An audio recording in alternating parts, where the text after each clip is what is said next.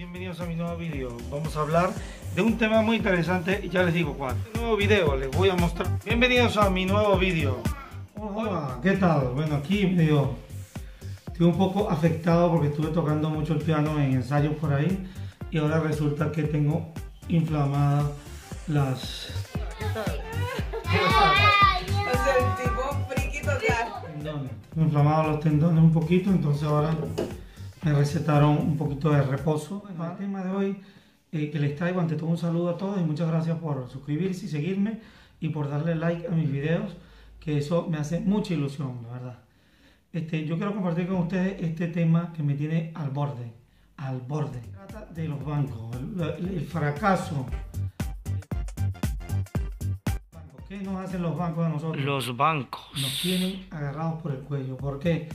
Porque lo que no puede ser es que estemos, tengamos una cuenta bancaria y a lo mejor la tenemos ese día, nos quedan 10 euros en la cuenta y entonces vengan y te apliquen una comisión justamente en ese momento para que quedes ahora debiendo intereses de descubierto, o sea, para cobrarte porque te quedas en cero y ahora te, después te aplican unos 20 y pico de euros o 30 para nivelar la cuenta, pues para pagar esa deuda de mantenimiento. O sea, eso es lo que llaman una locura. Yo he tenido varios, varios encontronazos con algunos de los bancos por ese tema, porque no lo hacen antes, sino justo cuando te queda poco dinero, es cuando te quitan para que quedes en cero y luego de quedar en cero te pasan la comisión. No dos veces, pues ah, disculpa y te, y te la acomodan, pero eso no puede ser, no.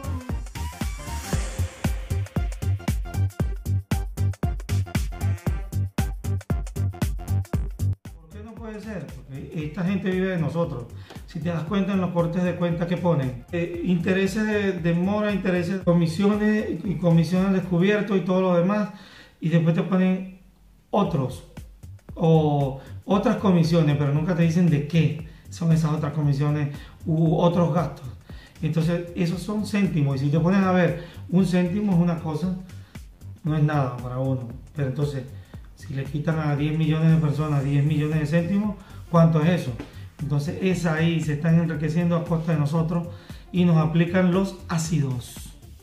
Que la banca nació hace más de 2000 años antes de Cristo, en Babilonia y en Asiria. O sea, eso es increíble. Ya desde ese momento empezaron los vivos a decir, bueno, yo se construyó la moneda, pues mira, yo cambio esto, yo te presto esto y tú me debes el doble.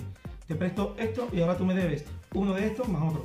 Y así empezaron a enriquecerse. Entonces, lo único que quisiera es que eliminaran a todos los bancos, elimínenlo.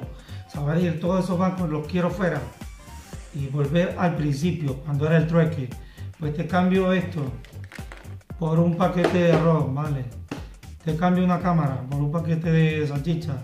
Tendrá que ser así porque es que de la otra manera no ha resultado. Ha sido el fracaso de todos los tiempos. Se enriquecen a costa de el que va a ahorrar. Y si tú no quieres meter el dinero en el banco, ¿qué pasa? Entonces todo lo que hagas necesitas una cuenta bancaria. Ese es el otro, digamos, coñazo. Y eso no me gusta nada. No me gusta. Cuenta. Si vas a solicitar una prestación o algo, tienes que tener un número de cuenta.